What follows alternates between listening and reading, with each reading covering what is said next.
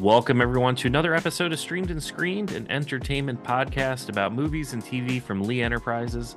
I'm Terry Lipshetz, managing editor of the National Newsroom at Lee and co host of the program with Bruce Miller, editor of the Sioux City Journal and a longtime entertainment reporter.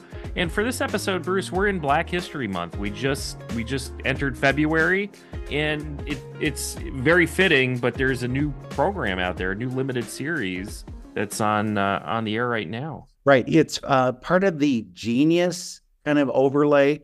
If you may remember, Ron Howard started this. He did Einstein quite a while ago.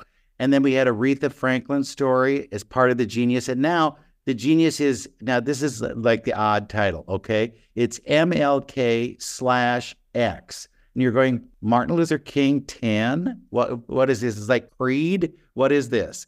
And no, what it is is they've taken the two stories the story of Martin Luther King Jr. and the story of Malcolm X and put them together into one. The reason they did, the producers talked about it. The producers were going to do just the Martin Luther King Jr. story. And they decided, you know, no, there's another story here that we need to tell because we this story has been told. The Martin Luther King Jr. story has been told many times with a lot of different people, but there are untold stories that haven't really hit the light of a TV screen or a movie screen. And so they decided to mash it up, if you will. Um, Gina Prince Blythewood, if you know her, have you heard of her? She did Love and Basketball. and her husband, Reggie, who's here with us. Uh, we have Re- Reggie and Gina uh, work together on a different world. That's how they met. They started kind of spitballing this whole idea. What what can we do? And here's what they had to say about putting the two civil rights leaders together in one miniseries. I'm curious, how did you decide to put the two of them together? Or you could do 10 hours on each one. We can do 20, you know? But we needed to do a different narrative. We need to do a narrative that answers to the urgency of now. We need to dispel the idea that you have to either choose between Malcolm and Martin, and rather look at it from a different lens, look at it from a lens that says perhaps we needed both of them. Perhaps they are opposite sides of the same coin. And if we embrace the messaging of both of them, feel like there's a contemporary solution to a lot of the things we're seeing right now. You know, I, I was surprised because as I was growing up, Malcolm was always in the background mm-hmm. and Martin was always in the forefront. Mm-hmm. Will that change? Will we see Malcolm become just as as important to the discussion of civil rights? We absolutely hope so. It's it's interesting because so often you're taught you have to choose: do you follow Martin or do you follow Malcolm? And so often in history, Mal- um, Malcolm's been villainized as well. So for us, we wanted to elevate both, show the importance of both not only to the movement but to each other. They absolutely fueled each other. They followed what each other was doing. They pushed each other, and as they neared the end of their lives, they were actually moving closer and closer um, to each other in in the way that they wanted to go about achieving the same goal. But you know, to Bruce's question as well, you know, w- will that change? I don't think the youth keep Malcolm in the background. I don't think that's the reality for particularly young um, black uh, adults. And it's, you know, Malcolm is very much at the forefront. Oh, that that's good to hear because uh, to me, he seems like a hipper leader than uh, Martin. Maybe that's just my take on things. Um, but I, I think there's a lot there that we can learn from him that just really doesn't get said. People don't even talk, you know, in schools. I don't even know if they're teaching this anymore. Well, the autobiography of Malcolm X is challenged. Same with the letter of Birmingham jail is is is uh, banned in in several parts of, of the country. You know, so the, this idea of it being taught and learned is um is something that we as artists, we as civilians, you know, we need to challenge. And also, yeah. what so much of what Malcolm was was talking about was really the dignity of self and and how important that was certainly at that time, but any time for for us to hear that about ourselves and his push to be connected to our roots. You know, his Pan Africanism was a big part of his message, and that's absolutely, as Reg says, urgency of now. We need to hear that message more than than ever. We were happy, so happy, one to learn more about Malcolm than we even knew, and then to put these fascinating things and his genius on display as well as Dr. King. When you go looking for people to play the parts, how difficult is that to find the right people? Well, we are, we call them the Big Four, and we are so excited because we got four young actors who are extraordinary. And foremost, we wanted to cast them young because we wanted to reflect the actual ages of Dr. King and Malcolm X, Coretta and Betty when they were achieving these things. Though Dr. King was 26 when he led the march, uh, the Montgomery bus boycott um, when you portray them at that age, then again, young people can see I can achieve that too. So we needed young actors who had chops, which all four of them do, but also the courage to take on these roles and the commitment that it takes, uh, and also the consciousness to know you have to get this right. You're not doing an imitation. Find your own Malcolm and Martin betting credit inside yourself and, and bring that forth. And, and they did that in a beautiful way. So when you're filming it, do you do one part all at once? and then you do the other part all at once or how do you it looks like a technical like how do i do this no it was it was basically you know filmed at the at the same time you know it was really more dependent on location or you know the schedule whatever was complementary to the schedule you know this was really also interesting narrative and an interesting um opportunity for Gina and I because it's the first time that we came up with an idea and didn't write it or direct it ourselves. And so we brought in a really great team, showrunners, um, Raphael Jackson, Damione Macedon, and uh, Jeff Stetson, who wrote a seminal piece of work uh, called the, called the meeting, wrote our, our our pilot. Just a really great, committed team of people that put it together. Um, the technical part of it was also just really fun in terms of like the merging and the intersecting and when we got into editing and playing with that and the music and just times we go to Malcolm, times we go to Martin, and the challenge is like always moving the story forward so that while we're dealing with different people, it's still one narrative. Did you ever feel like, oh, I wish I had my hands on this. I wish I was writing this. I wish I was directing this. You know, the re- reality is, you know, I was I was working on a on another show called Swagger, Gina was working on The Woman King. It was such a crazy time. It was just a different eh, challenge, a different way to use our creative muscle to convey idea, to convey vision, and to allow them to have the space to bring forward what they wanted to bring. When you both started, did you think the career would lead to this? Yeah, I would say yes. I mean, we we met on a show called A Different World. We were hired a week apart, and that was over thirty years ago. Mm-hmm. Um, but Reg and I, like how we connected, we started on a friendship level, and it was this shared belief, an unabashed belief that what we do could change the world, and respect and understanding of the power of this platform that we love. And so we've never let go of that. We've never become disillusioned by that. We know the impact the work can have, and so this feels really great for us. And I think one of the great things is, as Reg said, to be able to be a place in our career where we can have a vision for something or an idea and then bring an incredible group together to realize that vision and also give opportunities to others as well.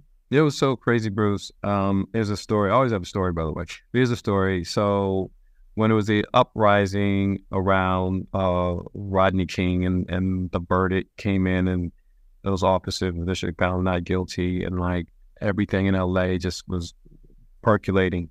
And this was like before cell phones and all that stuff. Gina went to this church out in South Central. I went to that church in South Central just like we needed somewhere to go. Um, without even connecting with each other, we were both there. And, you know, we spoke. Just having like moments like that where you just talk about like the world and how we've seen it change, how it needs to change, and what we can do as artists to just make it better is, you know, really filmmaking isn't just something we do, it's something we believe in. Oh, that's so great to hear. Well, keep doing it. Don't be stopping anytime now. I, will be very upset if you do. So please, please keep going. Thank you so much. All right, Bruce, thank you for that interview. It sounds fascinating. I mean, kind of, I, I had that same thought is here are two iconic civil rights leaders, but they had different approaches. But in a lot of ways, they were still very similar people. So it, it does make sense to bring that story together. Well, and you know, they had um, different followings too. They all had the same goal, but they were approaching it in different ways. And that's kind of the fascinating thing because we've seen movies about each of them. If you may remember, Denzel Washington played Malcolm X. Um, we just had David Oyelowo in Selma as Martin Luther King Jr. So there have been people who have played these roles. And I was surprised that, you know, A, somebody would say, Yeah, I want to play that. That's already been nominated for an Oscar by somebody else. But they were looking for younger. They went young, young, younger because they want to show those early years when they were just starting out. And one of the things that surprised me was um, Coretta Scott King was a huge opera singer. Did you know this? no, I had no idea. This was something that was all news to me. And that came out in the process of this this miniseries. And it did surprise producers as well. But they were looking for people who could play those roles. Now they found Kelvin Harrison Jr., and you've seen him in a number of things for Martin. But they were looking for a Malcolm. Where could we find a Malcolm? And they found him in Great Britain. Uh, they found Aaron Pierre is his name, Aaron Pierre, if you want to give it a French spin. But he says that when he went to school, they didn't really study American civil rights leaders. So his his exposure has a different kind of meaning than what it did for Kelvin. But the two actors uh, talk about the work, and they also talk about Ron Cephas Jones. Ron Cephas Jones, who was on This Is Us and won two uh, Emmy Awards for that, died not too recently, I think just this last summer. And he Elijah Muhammad in this and what it was like for them to work with him in what may be his last performance. So we have for you Kelvin Harrison Jr. He's the American one when you listen to him, and then Aaron Pierre, who is the um, uh, British one, and you'll hear you'll you'll be able to differentiate the two of them. But them talking about the roles and the film they've got coming up. They're both together in another film, oddly enough, that they started making before they did MLK slash X. Aaron, how do they teach these civil rights leaders in Great Britain? Do they uh, do they talk about them much in in schools or not? I mean, I think with a question like that, it's important that I share my personal experience. Um, you know, I can't speak for everybody's experience, and me personally, um, I, I didn't experience it being taught. I'll say as much as I would have liked in secondary school um, and prior to that. But I was fortunate to have parents who were deeply informed and made it a priority to inform me of what they knew and also made it a priority to encourage me to seek out further information beyond what they shared with me. So, when the both of you have seen others play these roles, is that like daunting? Is that you know, kind of scary when you think Denzel played this, David Oyelowo played that. I mean, how do you approach it? Of course, it's scary. It's so it's, it's so intense. You just kind of like, whoa! Like these people I look up to and respect, and like watch their roundtables and their interviews because I want to like I want to figure out how to act like them and like how do I get there. Those are all the questions that run through your head, and now you're sitting there faced with the same task and I'm so much. No, no, no, no. I was about to say something. Well, we're younger than them.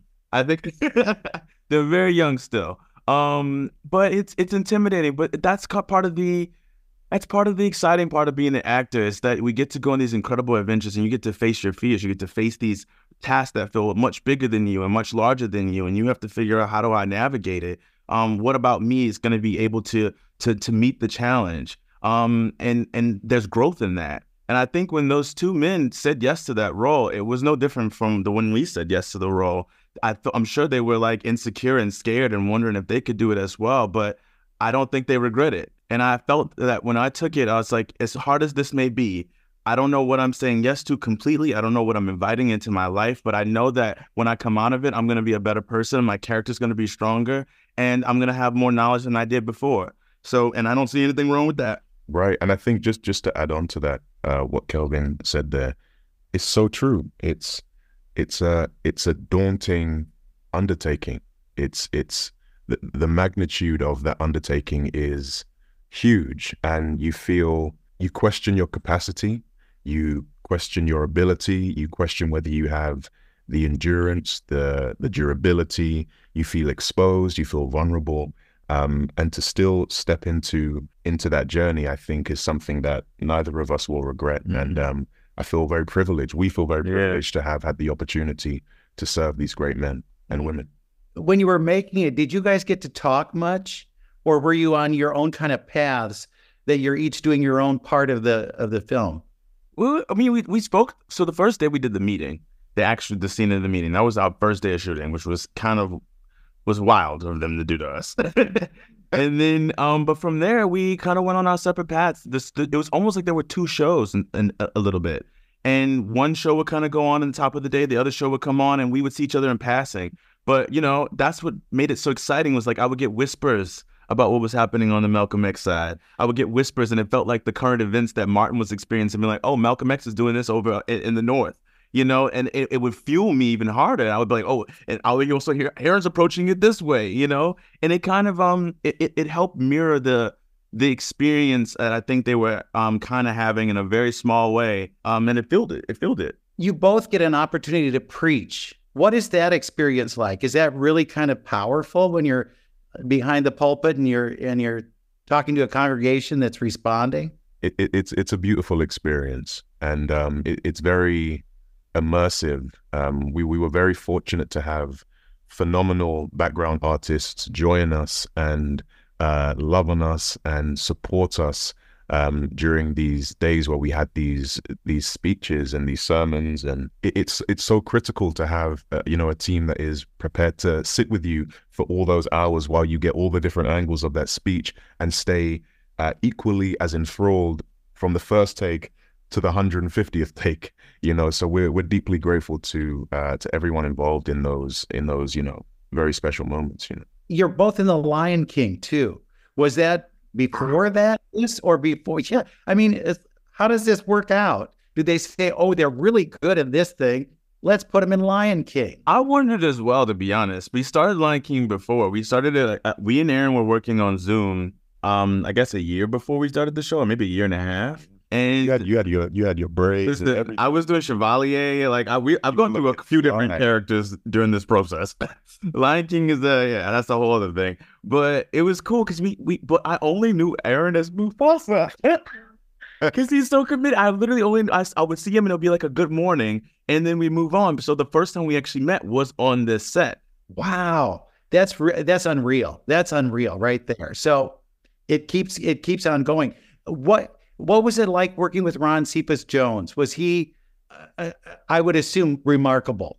Yeah, remarkable is an understatement. He he he was a father figure to not only me but all of us, and he really took me under his wing and was abundantly generous with his not only his artistic knowledge and insight, but his personal life knowledge and insight. And for that reason, I'm deeply grateful to him, and I'm deeply grateful to have had the privilege to collaborate and and learn from uh, one of the greatest to ever do it. Um, he's phenomenal.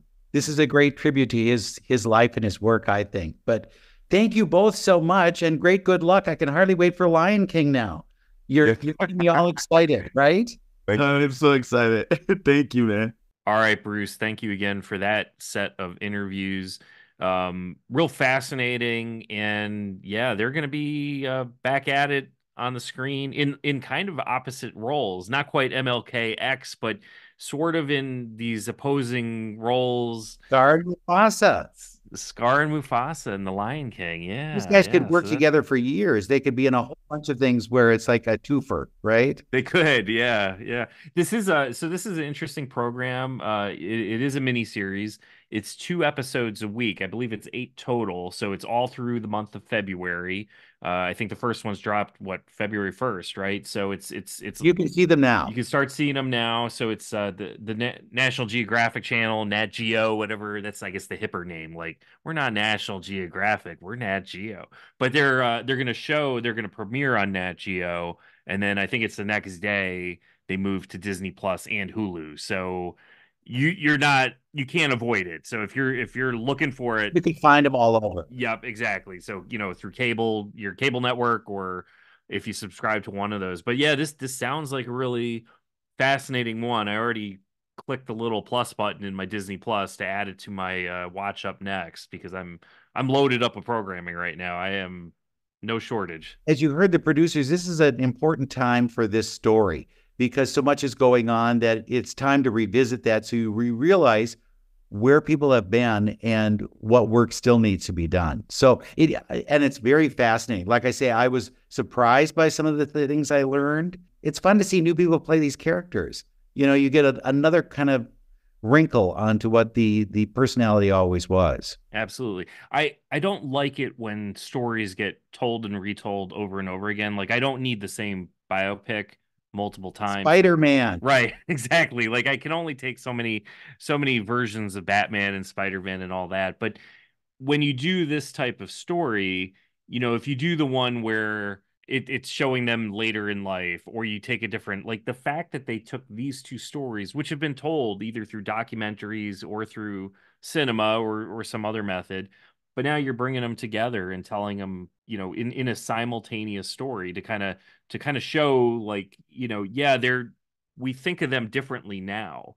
You know history looks back at them differently and we see them as being taking two separate approaches but they their goal was the same. It's civil rights. It's it's equality for everybody. And oddly, they only had one meeting that's documented of the the two men together. Uh, They said that they were basically making two films at once, and you know they'd be running all around to try and make sure we've got uh, this story's going here and we're doing this one over here, and and it would be a, a scheduling nightmare, I would think.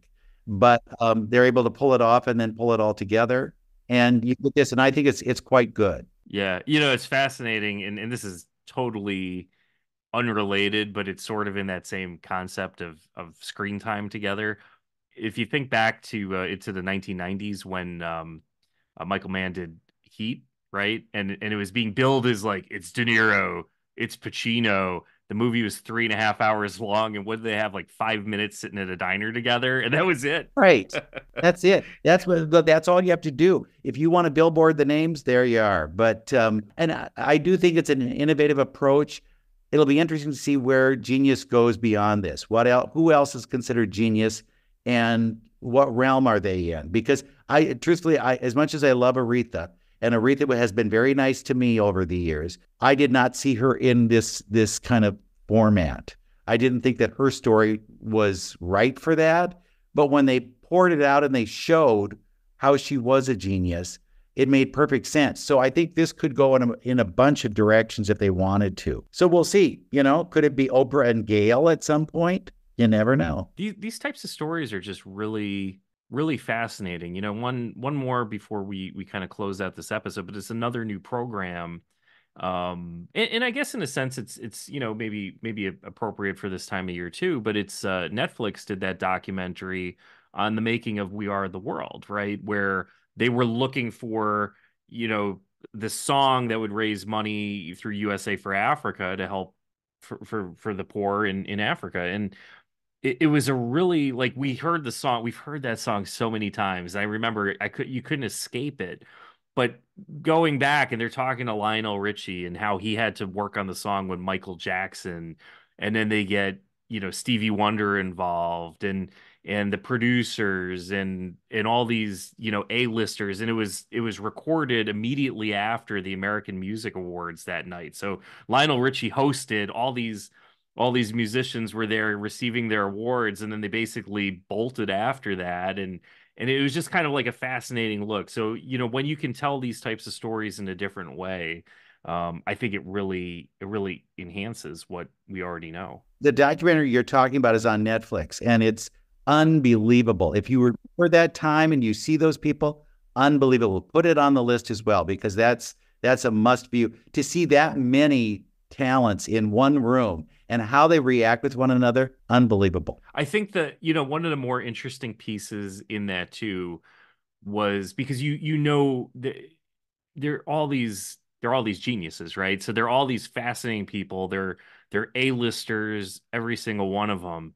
But when you stick them all in the room together, how their personalities change. And I thought the most fascinating one was watching how uncomfortable Bob Dylan looked being in that room. Right. You know, he was just standing there and he would kind of mumble the words because the song is outside of his vol- vocal range because that's not he's not a pop singer. He's a, a, a folk singer with a raspy voice. So, and I think that there was somebody like uh Wonder helped him get his whole yeah, vibe. right. he was like, able, they Stevie was a big imitator of everybody, and he knew how to sing like like Dylan.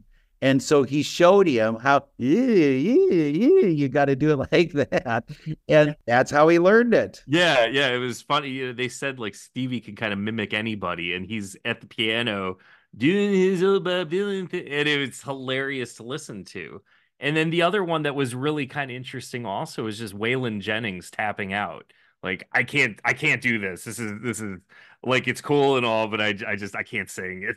He just Well, and then you had Diana Ross saying, "I'd like to get people to autograph my music." right, Really? exactly. You know, yeah. so who is the big? Who was the big one in the room? That's I, be- I. The question that you probably have to ask is who was the most important one in that room? yeah, I don't know. That's a good question. But they checked the egos at the door, so there you go. They did. Yeah, no, it was really it was really fascinating. So check, you know, obviously check out Genius MLK slash X. Check that out. And then of course the the making of We Are the World is on Netflix, along with tons of other great programming coming up. And um, you know, Bruce is uh, you know, meeting with the stars, the celebs, the A-listers this week. And um, you know, we'll be back again with another episode of Streamed and Screen before you know it.